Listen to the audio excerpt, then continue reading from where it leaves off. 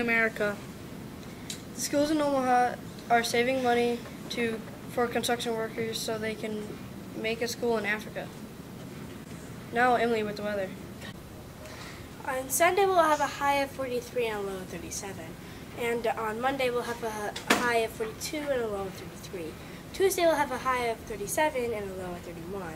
Wednesday we'll have a high of, of 41 and, and a low of 34. And on Thursday we'll have a high of 44 and a low of 32. Friday we'll, we'll have a high of 45 and a low of 38. Finally on Sunday we'll have a high of 42 and a low of 36.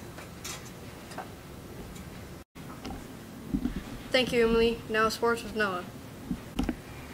Hey, I'm Noah, and I'm here to give you the sports. The Carolina Panthers were 15 and one last year. They almost won the Super Bowl, but uh, but this year they're three and five, and I hope they do better this season. The, um, this weekend the Cubs finally broke free from that curse in their game. On Sunday, they finally won the World Series game in 108 years. Dribble, dribble, dribble. Back to you, Phil.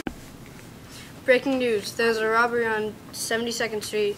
$500,000 were stolen from the First National Bank. This is terrible. That is supposed to be one of the most secure banks in the city. After this commercial break, we are going to talk about the debate on who is going to... Have you ever left your hot cocoa or hot chocolate alone and it got cold? With this self-heating mug, it won't get cold. You can order this for $19.99, and if you order now, you will get your offer will double.